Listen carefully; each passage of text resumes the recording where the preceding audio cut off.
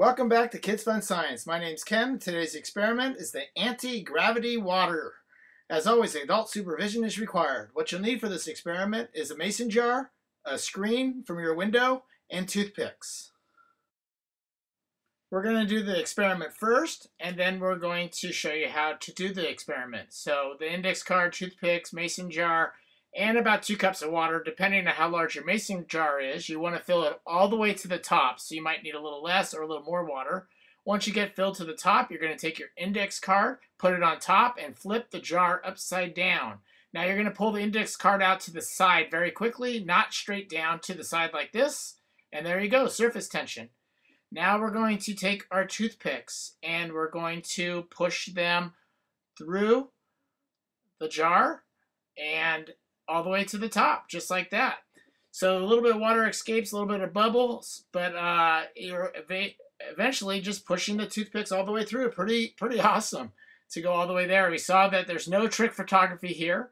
Uh, we filmed it all the way straight through. There was water poured into the jar and we flipped it over. So we had surface tension holding it up and we pushed the toothpicks in.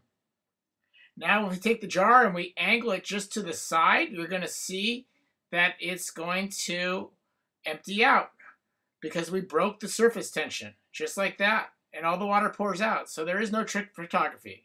Now here's how you set it up. You take your mason jar. We're going to cut out a screen from your window exactly the size of the mason jar. So just trace that out, cut out your screen in a circle, and then screw it on very tight, and you can see the screen's on top. Then we're going to pour the water in that we did before, so you didn't see the screen. And this is going to help us give us the surface tension that we require when we flip it over.